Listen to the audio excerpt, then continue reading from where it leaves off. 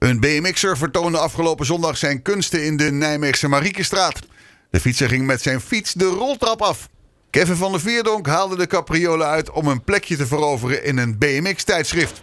Na een eerste mislukte poging kwam hij er de tweede keer zonder kleerscheuren vanaf.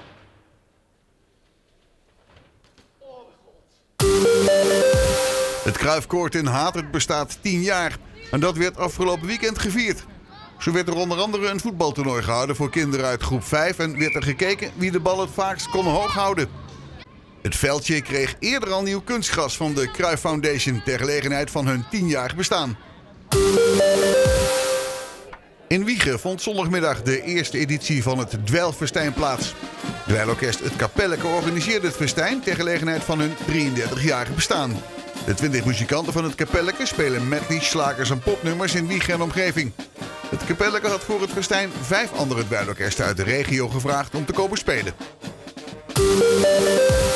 De werkzaamheden aan het wegdek van de Waalbrug zijn verplaatst naar de nachten van 1 op 2 mei en van 2 op 3 mei. Werkzaamheden vinden dan plaats tussen 10 uur s avonds en 6 uur s morgens.